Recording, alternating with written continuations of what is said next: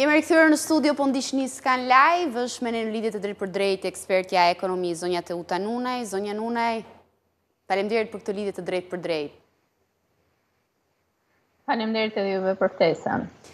Zonja Nunaj, sipas anketës e buxhetit të familjes, që Instat publikoi ditën e djeshme, një familje e përbërë mesatarisht nga 3.7 persona, në Shqipëri, në vitin 2022 ka shpenzuar 88.367 lekë për konsum, bëhet fjalë. Pra për gjithçka që i shërben për të jetuar, përjashtuar këtu investime që mund të ketë kryer. Po, ushqyerjes, shërbimeve, argëtimeve. Por, kujtoj që vitin që kaloi, Inflacioni ka shënuar nivelin më të lartë që nga viti nëntëdhjetë e tetë, me një mesatare gjashtë pikë shtatë për qind, ndërkohë që rritja e konsumit, sipas Instat, është në katër pikë pesë për qind. Pra, inflacioni ka qenë mesatarisht gjashtë pikë shtatë për qind, rritja e konsumit ka qenë katër pikë pesë për qind. Në lekë vetëm tre mijë e tetëqind e nëntëdhjetë lekë më shumë. Çfarë tregojnë këto të dhëna ose a ka një raport midis këtyre dy të dhënave që flet për shëndetin ekonomik të një familje shqiptare në vitin që ne lamë pas? Do analizojmë dy tregues mm -hmm. në bazë të dhënave që ju përcollët. Mm -hmm. E para lidhet me vlerën në para mm -hmm. që është shpenzuar më shumë. Po. Pra është rreth 4000 lekë më shumë që po. familjet shqiptare shpenzuan në vitin 2022, pra flasim gjithmonë në vlera po. mesatare, në krahasim me vitin 2021. Mm -hmm. Pra nga buxheti i tyre për të blerë, do themi të njëjtën sasi malli, produktesh, shërbimesh që ata kanë nevojë për të jetuar, kanë shpenzuar më tepër. Mm -hmm. Dhe e dyta, do themi që sërish nga të ardhurat totale të buxhetit familjar, shpenzimet e buxhetit për ushqime dhe pije jo alkoolike në krahasim me vitin 2021 kanë pësuar një rënie. Pra nga 41.3% që ishin në vitin 2021, mhm. rënia është 39.7%. Po. Kjo analizohet me elementin e parë që lidhet me inflacionin. Po. Pra, inflacioni ka rritur, ose më saktë, rritja e çmimeve ka sjellë rritje inflacioni, mhm. dhe kjo rritje inflacioni ka zhvlerësuar të ardhurat e familjes. Mhm. Që do të thotë, me të njëjtën sasi parash, familjet shqiptare kanë blerë më pak njësi. Mhm. Dhe këto të dhëna janë rezultate të gjithë situatës që neve kemi jetuar dhe përjetuar, kur ne na është dashur të ulim konsumin, që nuk kuptohet të blejë më pak sasi malli, me të njëjtën sasi parash. Mm -hmm. Ndaj në këtë rast, kjo ka të gjitha këto tregojnë vështirësitë që ka kaluar familja shqiptare për përballuar të treja krizat, duke filluar nga kriza e parë që ishte tërmeti, pandemia dhe për vijuar me krizën e luftës Rusi-Ukraina. Mhm. Pra, nuk është vetëm inflacioni që erdhi si pasojë e luftës Rusi-Ukrainë, që shkaktoi krizën për krizën e drithërave dhe një ngërç të zinxhirit të furnizimit ushqimor në të gjithë botën, po këtu, pra në 2022 reflektohet në shëndetin e buxhetit të një familje shqiptare, reflektohet edhe tërmeti dhe pandemia. Pra në këtë rast familjes shqiptare i është dashur të shpenzojë më tepër para për të blerë sasinë, të njëtën sasi malli, mm -hmm. por njëkohësisht ato, pra një pjesë e familjeve kanë shpenzuar më tepër, një pjesë e familjeve kanë shpenzuar më pak po. para, sepse aq është buxheti dhe duke realizuar një sasi më të pak malli. Mm -hmm. Në këtë rast analiza bëhet në volum, në sasi dhe njëkohësisht në vlerë. Mm -hmm. Në rastin konkret, në këtë rast ne kemi një shpenzim më të ulët të vlerës në vlerë nga buxheti i familjes mm -hmm. për të blerë edhe më pak. Kjo po. shfaq në këtë rast edhe këtë rënie të konsumit që ne gjithmonë e kemi analizuar në mm -hmm. në analizat tona përgjatë intervistave të.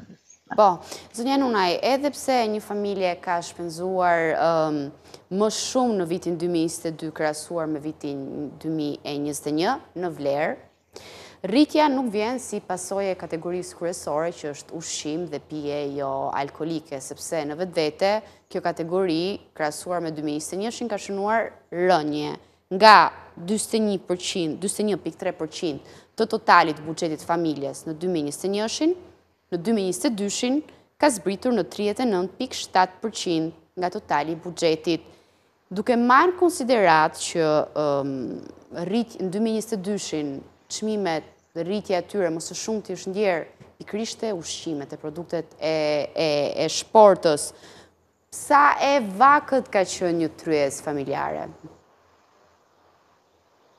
Është e rëndësishme për të theksuar që gjatë vitit 2022 kemi pasur edhe disa rritje page, mm -hmm. njëkohësisht disa rritje pensioni. Mm -hmm. Dhe kjo në këtë rast ka bërë që të rriten disi të ardhurat në familjet shqiptare. Mm -hmm. Por, kjo rritje e të ardhurave nuk e mbuloi një rritje të lartë të çmimeve. Mm -hmm. Ndaj në këtë rast gjykojmë që po. në tryezat familjare flasim gjithmonë po. për shtresat e mesme dhe shtresat me të ardhura të ulëta, pra nuk po. flasim për shtresat me të ardhura të larta, mm -hmm. për të cilat kriza nuk jep efekt në këtë rast, mm -hmm. sa i përket zërit ushqime dhe mhm. pije mm -hmm. alkoolike. Atëherë në këtë rast do analizojmë që kemi një tryezë më të varfër, mm -hmm pasi rënia e konsumit në këtë rast sjell pikërisht blerjen e një sasive më të pak mhm. produktesh, si në sasi edhe në cilësi. Dhe mbarimi ose fundkrizat e 2022-2023 e bën në këtë rast edhe më të vështirë përballimin e këtyre krizave dhe shfaqin këtë problematikë, duke ngelur të ardhurat pothuajse në të njëjtin nivel ose me rritje shumë të ulëta, pra por më të ulëta sesa inflacioni, kjo e ka varfëruar edhe më tepër tryezën shqiptare. Ëh. Mm e megjithatë, sipas uh, një, një tjetër element që vihet re në anketën e buxhetit të familjes të Instat,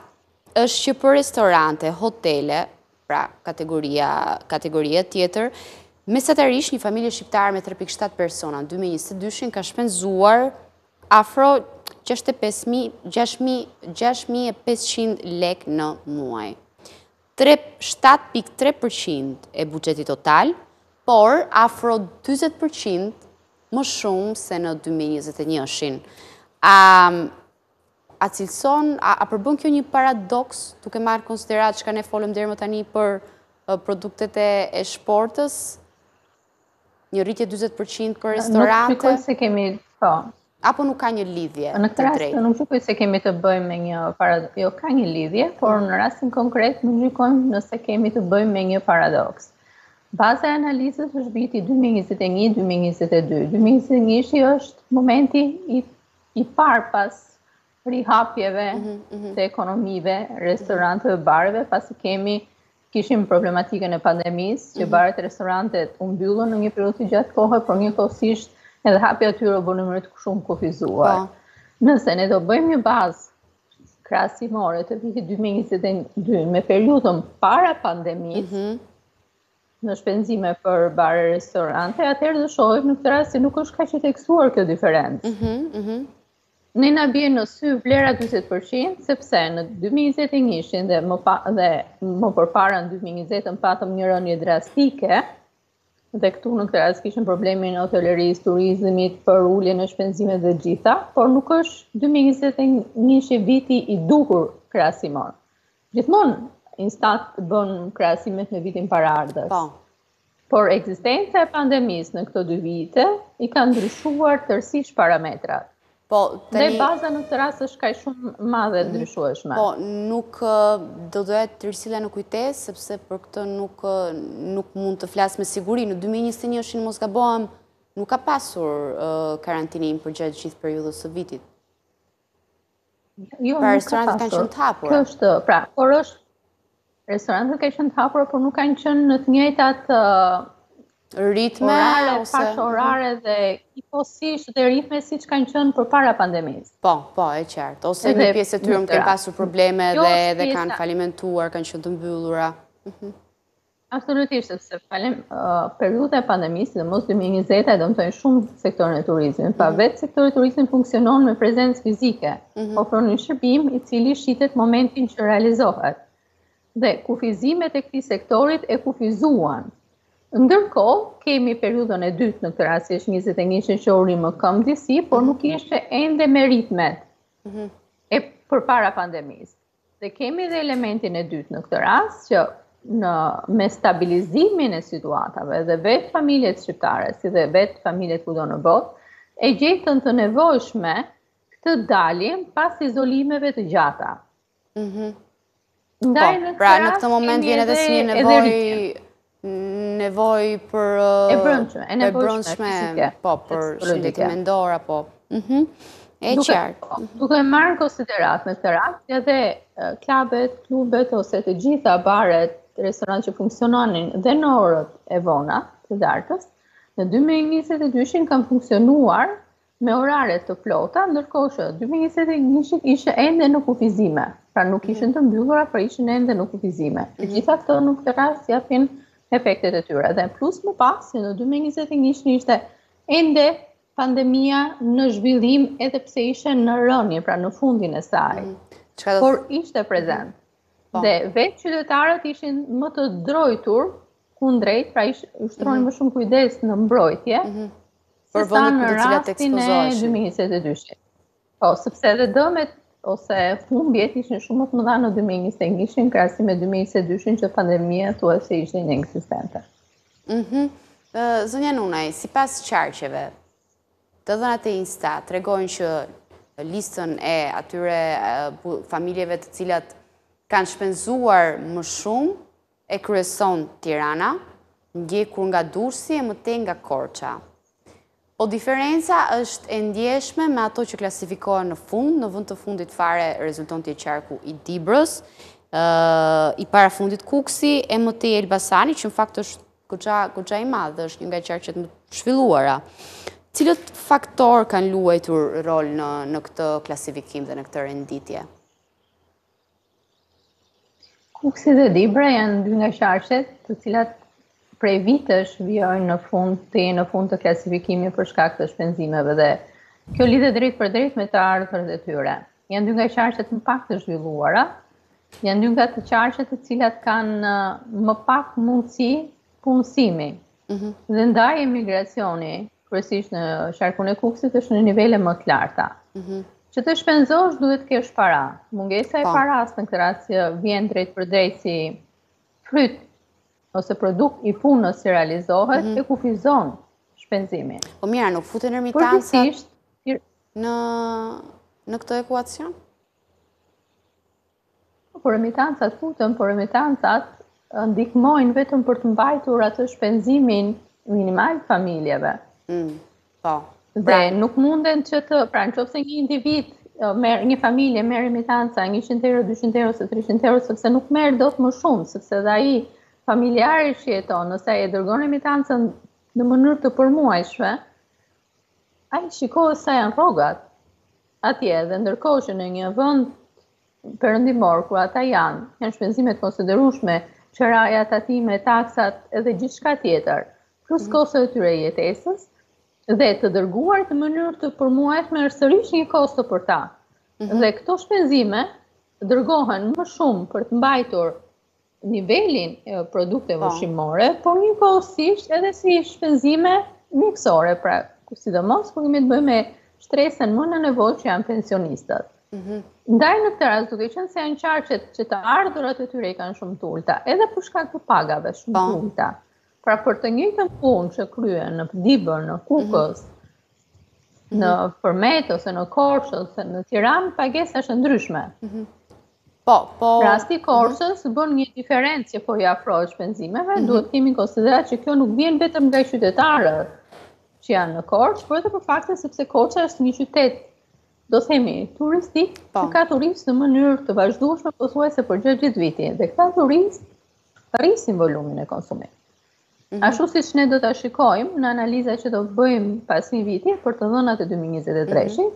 që rritja e gjithë atij volumit të madh të turistëve, ata rritën konsumin, pra në një farë mënyre ata e shpëtuan tregun shqiptar, sepse ata rritën konsumin, Duke qenë se u ul ky konsum familjar. Pra të dhënat e Instatit nuk e bëjnë dot ndarjen, sepse nuk do mundemi, po, të themi sa kanë shpenzuar turistët. Kjo, këto të dhëna janë për njësi shqiptare, me familje shqiptare, po jo me 3.7%. Po, janë njësi shqiptare, me po. familjen shqiptare dhe llogariten në bazë të shpenzimeve totale që janë realizuar. Mhm. Por në një supermarket ka blerë një familje shqiptare, mhm. Pra, flasim për, për banorët rezident. Kur mhm. flasim, mm. flasim për banorët rezident, do të thotë të gjithë ata që janë. Por në këtë supermarket mund të ketë blerë dhe një banor i cili vjen në mënyrë të përkohshme për të jetuar, një javë, dy javë, dhjetë mm -hmm. ditë.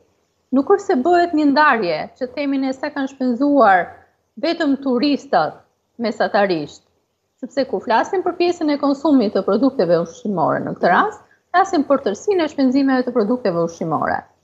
Dhe në rastin e Korçës, është një qytet i cili ka në mënyrë të vazhdueshme qytetarë.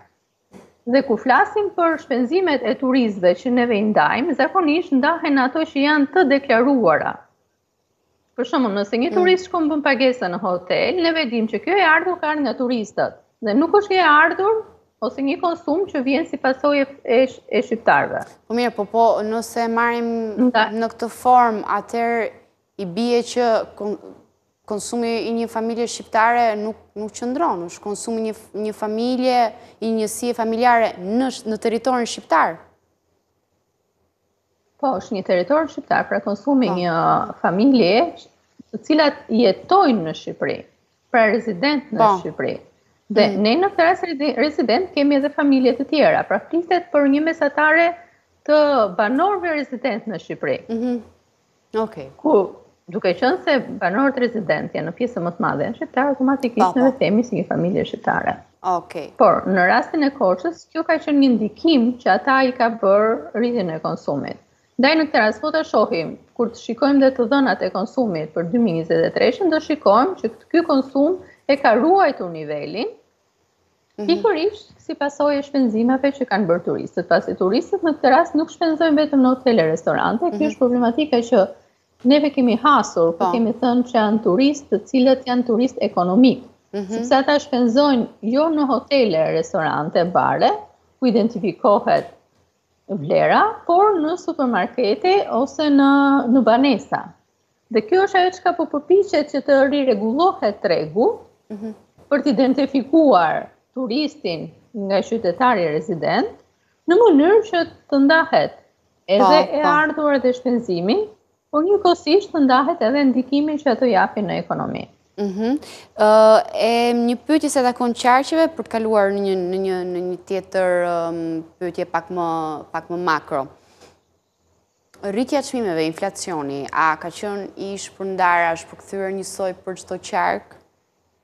Pra, mund të themi e zëmë që Dibra, përveç fakti që të ardhurat janë më të ulta, papunësia mund të jetë më e lartë, remitancat nuk kanë dhënë një ndihmë për t'u përafruar me qarqet e tjera më të zhvilluara, një tjetër Element është edhe që çmimet nuk kanë qenë njësoj të larta si në Tiranë, ndaj edhe konsumi ka qenë më i ulët, apo inflacioni është përkthyer njësoj në përafërsisht njësoj në gjitha qarqet? Inflacioni është një mesatare mhm. e rritjes së çmimit, e rritjes së çmimit kryesisht të produkte, produkteve bazë që maten. Inflacioni kur deklarohet nga Instat, deklarohet në disa nivele. E para është një inflacion i bazë, pra është mesatarja e të gjitha produkteve që matet rritja e çmimeve. Dhe në rastin konkret nuk kemi një inflacion nga ana e Instat të identifikuara sipas qarqeve, që të mhm. themi. Marrim për shembull produktin e mollës. Po. Sa është rritur çmimi në Tiranë dhe sa është rritur çmimi në Korçë? Mhm. Jo vetëm në në Korçë, në Dibër ose në qytete të tjera, jo vetëm në vlerë, por edhe në përqindje. Mhm. Por edhe nga ajo çka ne prekim në mënyrë të përditshme në jetë, shohim që çmimet në Tiranë janë realisht më të larta se mhm. sa çmimet në Korçë, në Dibër apo në Kukës. Kjo vjen edhe për shkak të kostove. Mhm. Pra nëse neve marrim mollën për shembull në Dibër, molla në Dibër, sa kosto transporti ka? Ka 2 mhm, mhm. lekë. Po. Nëse kjo mollë e Dibrës do vijë në Tiranë, kosto e transportit bëhet 5 lekë. Automatikisht dhe çmimi është më i lartë. Dhe plus më po pas edhe njëkohësisht çmimet që janë për një biznes në Tiranë janë të ndrysh janë të janë të ndryshme nga ato që janë në Korçë, sërish për shkak të kostos. Kostot e qerave në Tiranë janë shumë herë më të larta, kostot e pagave të punonjësve në në krahasim me Dibrën, kostot e pagave të punonjësve janë më të larta në Tiranë sesa në Dibër. Energjia elektrike është e njëjta në këtë rast, se çmimi është unifikues në të gjithë vendin, shpenzimet e ujit janë të njëjta, kostot e transportit janë të ndryshme. Mhm. Kjo e bën në këtë rast që çmimet në qendrat e zhvilluara dhe kjo është tipar jo vetëm i Shqipërisë, por janë tiparet e tregjeve, janë më të larta se sa çmimi në një në një vend ose një qytet më pak të zhvilluar. Duke pasur të ardhura më të ulta, kostot më të ulta, ndaj në këtë rast është më e lehtë ta përballohet jetesa. Mm. Dhe e njëjta logjikë funksionon edhe mes shteteve. Nëse një pagë që merret në Shqipëri, mm -hmm. referuar dhe kostos mund ta përballosh, por nëse me një rrogë në Shqipëri do jetosh në Itali ose në Gjermani ose në Francë ose në Zvicër, nuk mundesh. Pikërisht për shkak të kostove të jetesës më të lartë. Qendrat e zhvilluara kanë kosto më të larta, mm -hmm. për pasojë edhe jetesa e tyre është më e shtrenjtë. Mhm. Ndaj në këtë analizë ne do themi Inflacionet ose kostot më të larta janë në Tiranë në krahasim me Dibrën, por në vlerë nuk mundemi t'i deklarojmë për shkakun se Instat bazën për llogaritjen e inflacionit e llogarit në nivel kombëtar dhe jo në nivel qarku ose në nivel zona. Mhm. E qartë, zonja Nunaj, unë do kthehem në fakt, jo do kthehem, po dua t'i jap edhe një herë vëmendje më të shtuar faktit që afro 40% e të buxhetit të, të një njësie familjare shkon për produktet ushqimore dhe për pije joalkoolike, ndërkohë që të dhënat po, po i sjell në vëmendje një raport të vitit 2021 të përpunuar e të publikuar nga Scan Intel në ndërthurje të Instat me Eurostat, mesatarja e shpenzimit për ushqime dhe pije joalkoolike për një vend të Bashkimit Europian shkon në jo më shumë se se pesëmbëdhjetë, katërmbëdhjetë për qind të të totalit të buxhetit familjar, ndërkohë që në Shqipëri mesatarisht është dyzet për qind për vitin dy mijë e njëzet e një, këtu flas për për dy mijë e njëzet e njëshin. Çfarë strategjish afatmesme apo dhe afatgjata mund të mund të ndërmarrim ne në mënyrë që në mos t'i afrohemi shumë mesatares së Bashkimit Europian, të të zvogëlojmë sadopak këtë hendek, dyzet për qind të parave të buxhetit familjar në Shqipëri për ushqim dhe pije, katërmbëdhjetë për qind buxhetit të një vendi të Bashkimit Europian për ushqim dhe pije. Këtu ka disa tregues të cilët janë të rëndësishëm të analizohen dhe janë tregues të cilët përmirësimi i tyre sjell atë ndryshimin që juve e cekën. Mhm, mhm. Së pari, Shqipëria është nga vendet me pagat më të ulta në Bashkimin Europian. Nuk mhm. flasim për rajonin, por po flasim në nivel kontinenti. Duke pasur të ardhura më të ulta, atëherë edhe shpenzimet janë më të ulta. Çfarë do thotë? Në rastin që një familje ka një të ardhur të kufizuar, mhm.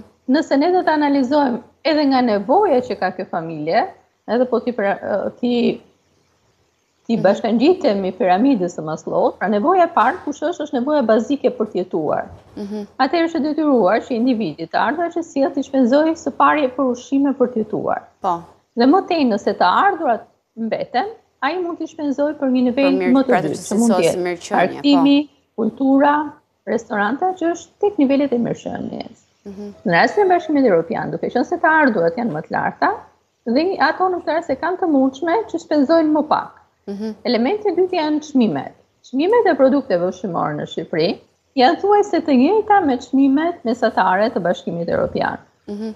Dhe një familje që ka të ardhura më pak se një familje në një vend të Bashkimit Evropian, automatikisht do detyrohet të shpenzojë më shumë para nga buxheti i vet mhm. në përqindje në krahasim me pra në vlerë mund të jetë e njëjta. Mhm. Pra 200 euro mund të shpenzojë një po. familje shqiptare, 200 euro një familje italiane, por në 800 euro ose 600 euro që ka të ardhura një familje shqiptare, është diferenca shumë e madhe në po. krahasim me Po, ka pesh në krahasim me 1200, 1500 ose 1600 mm -hmm. e më tepër euro. Pra kjo këto janë dy elementet bazë. Mm -hmm. Elementi i tretë lidhet me pjesën. Një pjesë e konsiderueshme e familjeve shqiptare janë familje të cilat janë pensionistë. Mm -hmm. Pensionet në Shqipëri janë shumë shumë të ulta. Po. Dhe ata janë të pamjaftueshme për një jetesë, një jetesë me dinjitet, për një jetesë normale. Dhe sërish vjen e njëjta logjikë dhe i njëjti arsyetim që këta individë shpenzojnë më shumë për produkte ushqimore, pra për të jetuar dhe për shpenzime mjekësore. Ndaj nuk mbetet buxhet për shpenzime të tjera. Mhm. Po, Kjo e kufizon në këtë rast. Po kam përshtypjen që mosha mediane e popullsisë së Shqipërisë duhet të jetë disi pak më mirë se Shumë vende të Bashkimit Evropian apo është thjesht një përshtypje e imja? Më fal nuk e kuptova. Në sensin që Shqipëria, sa pensionistë mund të ketë Shqipëria, sa mund të jetë diferenca, sepse sido qoftë përtej emigracionit prapë, mosha mesatare në Shqipëri, nuk... Pra, ka ende shumë të rinj, dua të them, në Shqipëri, kështu që në kuadrë... Po, ka ende, është realitet. Nuk është jemi shumë të plakur si popull, dua të them. Në Shqipëri, në këtë rast, Po, por uh, kur flasim, nuk, nuk flasim vetëm për numër pensionistësh, mm. por flasim edhe për vlerë pensioni që ata marrin. Po. Në Shqipëri në këtë rast janë janë rreth 767.000 pensionistë. Mm -hmm. Ose individë të cilët po. marrin pension, në këtë rast gjitha kategoritë e pensionit. Mm -hmm. Pra mhm. është gati 1/4 e popullsisë rezidente. Mm -hmm. Dhe mesataret e pensionit vijojnë tek vlera, do themi 200 Mhm. dyqind e njëzet po. euro.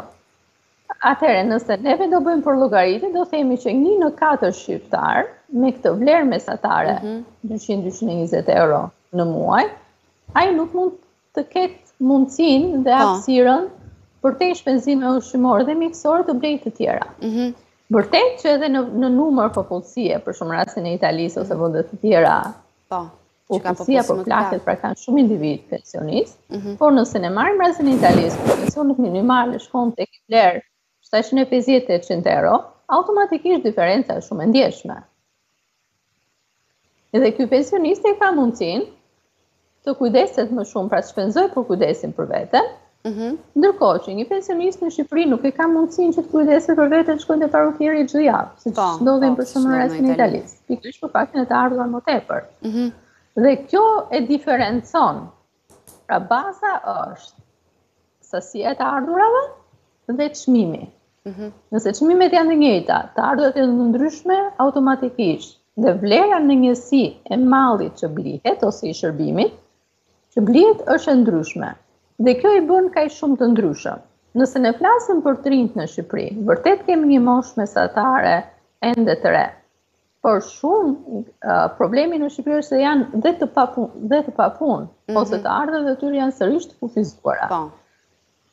Pra nëse neve flasim për rrogë mesatare diku te 600-650 euro, dhe kemi gati gjysmën e individëve të punësuar në Shqipëri me pagë minimale, që është 20.000 lekë të reja aktualisht, mm -hmm. atëherë neve kuptojmë në këtë rast një diferencë shumë të vogël, mm -hmm. të mundshme që ata të rrisin shpenzimet e tyre. Në 2022, edhe nga të dhënat që juve keni përcjellë, por mhm, edhe mhm. televizioni juaj ka analizuar, po. shikohet që ka një rritje edhe të zërit të duhanit dhe më pak argëtime po. dhe kulturë. Kjo vlen, kjo shikohet në këtë rast edhe një lloj jo vetëm interesi që ka rinia shqiptare, por edhe njëkohësisht kërkesat e saj. Mhm. Pra kënaqësia e tyre është për të pirë një kafe e për të konsumuar një duhan, ndërkohë që nuk kënaqësia e tyre nuk është tek argëtimi, pra për të shkuar në kinema mhm, ose për të mhm. shkuar në një shfaqje teatri ose për të shkuar. Pra të gjitha këto në këtë rast të shprehura në vlerë, po njëkohësisht tregojnë edhe trendin e zhvillimit dhe të kërkesave që kanë vetë qytetarët ose brezat gjeneratat e ndryshme mhm. kundrejt jetës dhe kundrejt vetë po, dhe vetes së po. tyre. Në fakt, ka pasur dhe një komision pak ditë më parë ku është diskutuar pikërisht për rritjen e mundshme të çmimit të duhanit si një nga format direkte që do të çojë në një konsum më të ulët. Do të jetë edhe një nga temat që ne do të kemi në vijim Zonja Nunaj, unë ju falenderoj për këtë lidhje të drejtpërdrejtë.